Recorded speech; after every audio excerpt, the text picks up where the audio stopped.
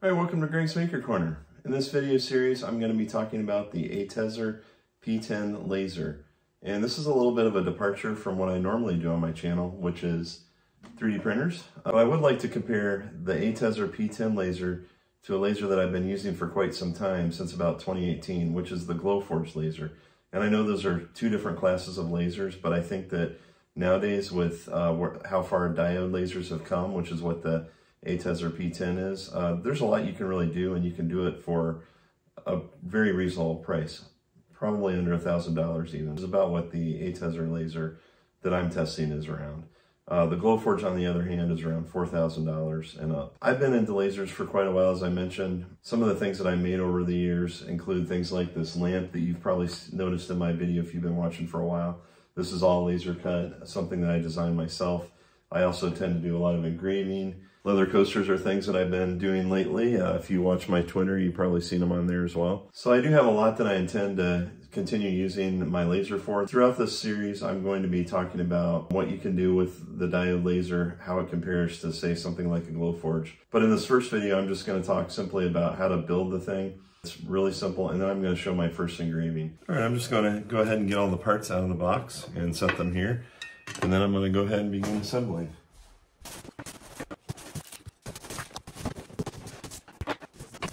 Now I've got just about everything set out here except for the rotary tool and I'm going to save that for later. So here's another view of everything from the overhead. So a lot of these cables and things I'm probably not going to need just yet, so I'll set those aside, including the power supply. We're going to use those later. You will need this bag of screws in order to get everything assembled, so we're going to leave that out. Also going to need this stepper motor cable here. And these snazzy green glasses, I think we're probably going to set these aside as well. And I will be using the installation manual here. And if you'll notice, this applies to the P5, 10, and 20 plus. So if you have one of those models, the steps should be very similar, if not the same. And on page four, it just kind of lays out all the main pieces you're going to need and what they're called. And I'm just going to go ahead and start with the framework assembly here on uh, step one. I went ahead and cleared everything off, and now I've got my bags of screws and the four pieces that I need in order to do the first few steps. The nice thing about the screws is they're all labeled, so you got one, two, three, and four. And we're going to go ahead and do step one. The other thing that you'll notice here is I've got a ceramic uh, patio tile here. This is something that I just use to make sure that my build surface is nice and, and stable. So I recommend using a hard surface like this if you have one. These steps are very straightforward. We're just going to put the screws in all the corners. Now there are Allen key wrenches provided in the kit, but I'm going to go ahead and use these Bondhus drivers, which I really like to use. All right, I'm going to start with the front corner. And I just went ahead and ran that cable, stick this in here on the inside.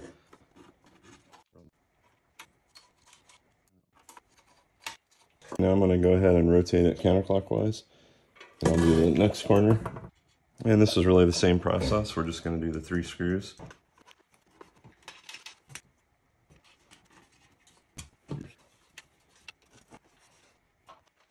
Okay, and here you can see it all connected and installed and oriented as in the manual. And for step two, we're going to need these M2, M514s. Now the manual does say M525s, but these are, these are uh, they, they probably changed since they wrote the manual. So these are going to go in the corner of the side where this ATEZR logo is. So I'll go ahead and lift that up and show it. And you're just going to install those right in here. When you feel that bump, that's where it's going to go right into the belt tensioner. So we're good there on the tension. And just repeat that for the other side. Got the x-axis now, and I'm going to go ahead and install this. Now, this might be a little tricky. Um, I've got the back of the frame right here. The front with the button is that way. So when you install this, make sure that this is facing the front of the machine. The other thing I did is I slid these uh, pieces here that hold the gantry all the way to the back. I think that's going to make it a lot easier for me to install this. So I'll go ahead and set this on top. And then I'm going to take my step three screws, which are these M5 58s. The manual says 60, but what's two millimeters? Go ahead and take those out and get them installed. And to do this, I'm just going to lay them in here. And there should be, they should be right on top, ready to grab. And then I'm just going to repeat for remaining three. All right, those are in. And for step four, we're just going to flip it over and install these bottom feet. So I'll go ahead and do that now. And you'll just be using the step four screws, which are M5 by 6s. Okay, I've got it flipped over now. I've got the control box here, which is the front of the machine. So I'm going to find the four feet. I'll go ahead and attach them with the step four screws. Got my feet. I'll go ahead and line up the first one. So it's right into place, and I'll go ahead and sink those. There's three screws per foot.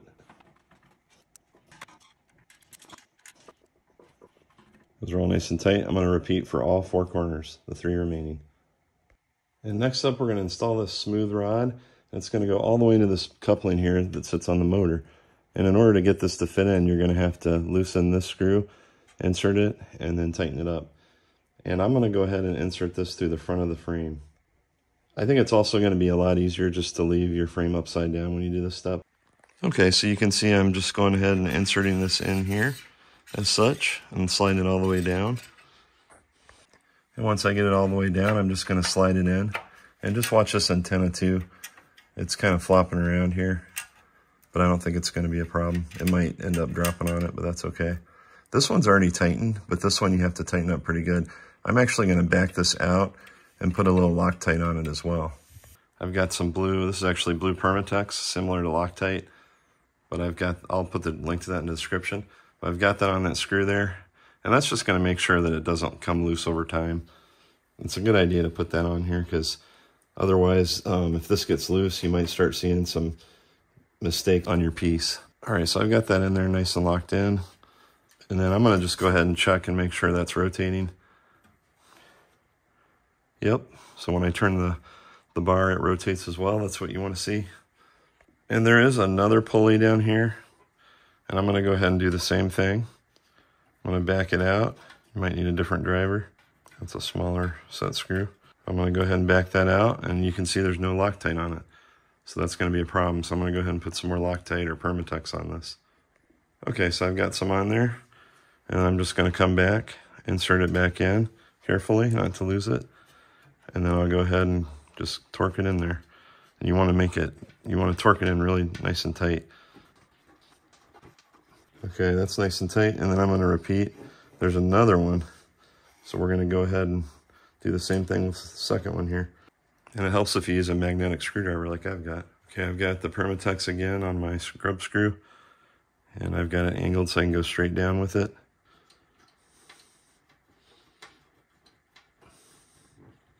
I think those are going to be nice and secure.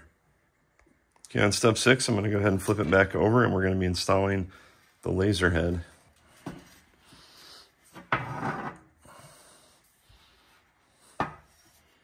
Okay, I've got it into position now.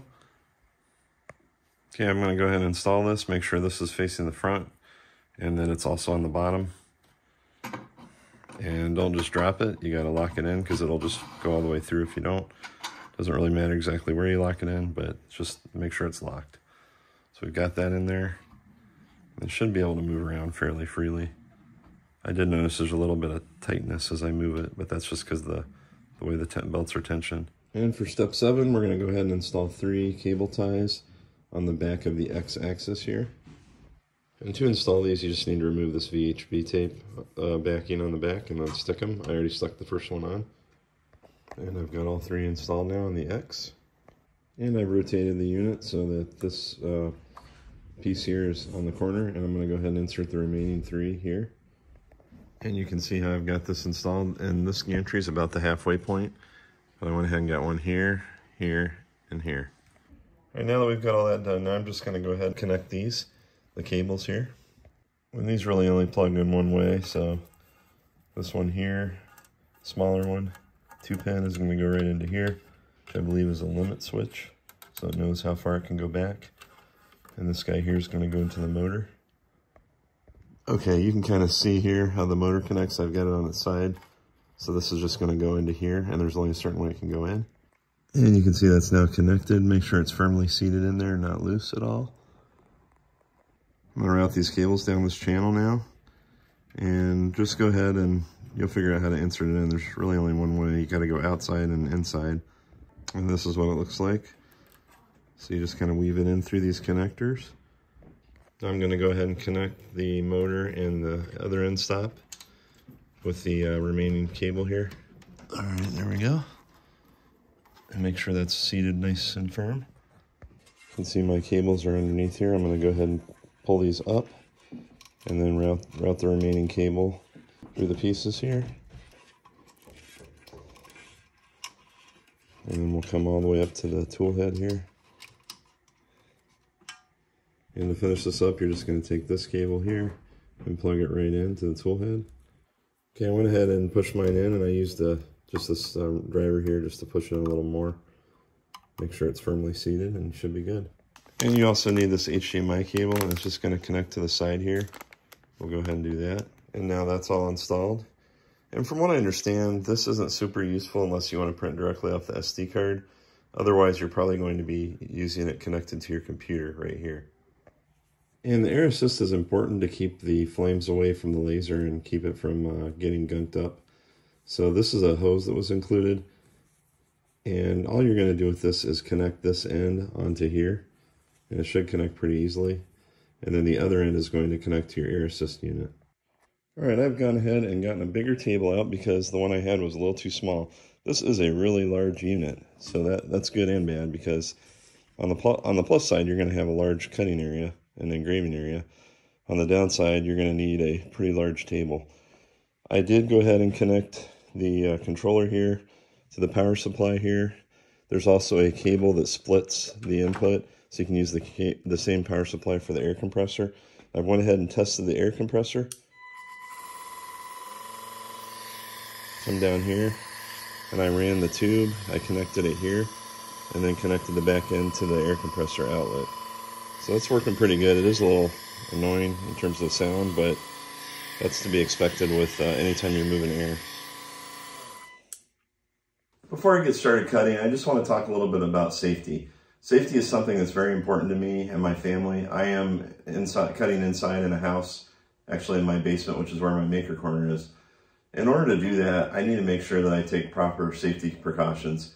And the two areas that I'm most concerned about, one of them are the, the fumes or the vapors that are emitted when you cut.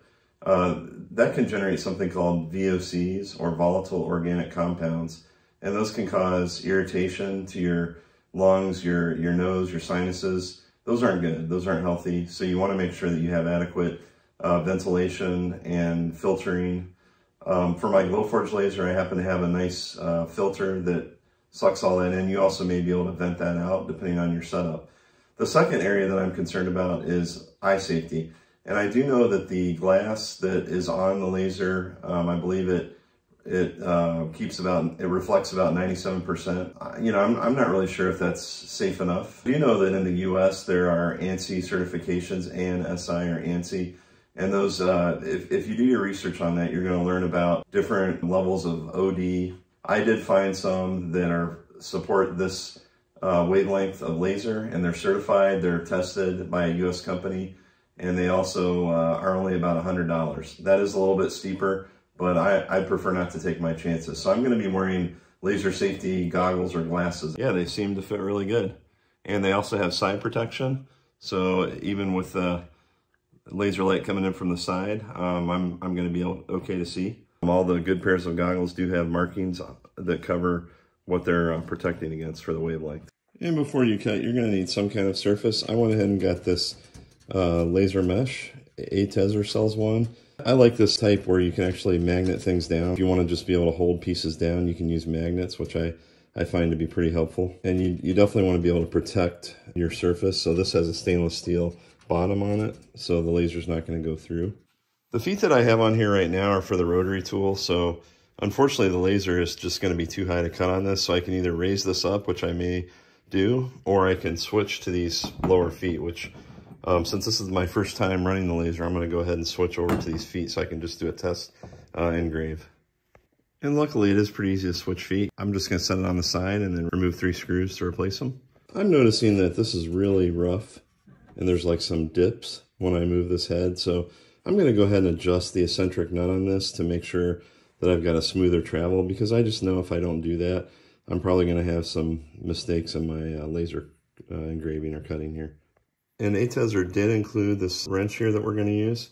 And then you're just going to go ahead and insert it in here with your head centered. And this is where you're gonna tighten it or loosen it. And you're gonna use the, the bigger side of it. So I'll go ahead and try to do that here. So you can either go left or right. And I'm just gonna experiment with it to figure out what the right setting is. Okay, and I did turn it a little bit. It seems better, but there's still some of those rough spots. So I, I think my problem is actually the belt tension. So I'm gonna go ahead and flip it over and adjust that. Now my Y-axis, it's very smooth, so I don't think there's anything needed there. But I noticed that the belts are extremely tight on the X. So I'm going to go ahead and adjust those next. As you can see, that's just really, seems really tight. There's two things you have to do. The first one you got to do is loosen these. And then after that, you loosen this a little bit and adjust it. And then after that, you just tighten it back down. So I'm to go ahead and try and do that now. Okay, so I loosened it up. Now it's about there. That tension's a lot lower and it's moving nice and pretty pretty smooth, a lot smoother than it was before. So I think that's pretty good. Now you can do the same approach uh, for the, the Y as well. And the ATEZR site does have a link that shows how to do this, so I'll, I'll go ahead and link that in the description. Okay, I now have the cover on here, the safety cover, and it has a nice window here, as well as here for safety protection. And it's interesting that the panel here is the same color as my glasses. This cover is very easy to set up. I didn't have to screw anything in. I literally just unfolded it and laid it over top. There's also a hole over here, and this is where you would connect your hose. It comes with one. It also comes with a fan. So the fan goes here, and it kind of helps circulate. If you already have a filter, you probably won't need the fan, and you can just attach the hose. Um, there's also kind of a nice little handy tool holder here. But this is um, this is going to be really safe, I think. Uh, one, the only complaint I have is that the plastic that you have to remove on the screen is a little hard to do. And I actually, um, when I was pulling it, it ripped out that screw. So I ended up just trimming it off. It seems like it's going to be good. I understand it's also fireproof. So there's like a black kind of material here that seems pretty good. I think I saw a demo where somebody held a lighter up to it and it didn't do anything. This is going to definitely help keep you safe. Got a little piece of hickory wood here. This is probably around maybe four millimeters. I'm just going to try to engrave it and see what it comes out as. This is just some scrap wood that I have. So my next steps are going to be to go ahead and just test an engrave on here, and I need to find a suitable starting point for the power. And here you can just see what I'm doing with Lightburn. and then I've used this uh, frame button over here just to get it right to where I need it. So I think I'm pretty good to go with light burn so far. And I did find that ATEZR does have some settings published. I'm going to try this plywood uh, fill Engrave 43001 for mine. And I did find a nice tutorial on the Lightburn site that explains how to add text, so I'm going to do that. And I'm just going to type in here first engrave. So I went ahead and I set my speed and power to 3000 for speed, 40 for power, and mode for line. And I'm going to see if that works. So let's go ahead and hit start and see what happens. Okay, hopefully you can see that. It's actually going pretty quick and I can uh, tell by the smell it's doing something. It looks like it's extremely light, so I'm probably probably going to have to redo it with a higher power setting. But uh, it's definitely doing something. It's really not all that cool, but it did do my first engrave. And uh, looks pretty good. I just did an outline text there.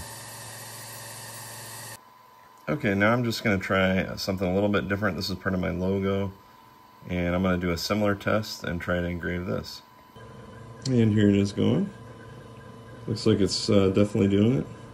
I think I could slow it down to get a darker engrave, but I'm actually pretty impressed how quick that's going. That's really just one pass. And I've taken it out of the enclosure, and I'm pretty pleased with that. Um, I'm, I definitely have a lot more playing around to do, but this is off to a really good start, and it was actually pretty easy to get up and running with Lightburn. Well, I hope you found this video helpful, and if you're putting together a kit and this and you end up following my steps, please uh, comment and let me know.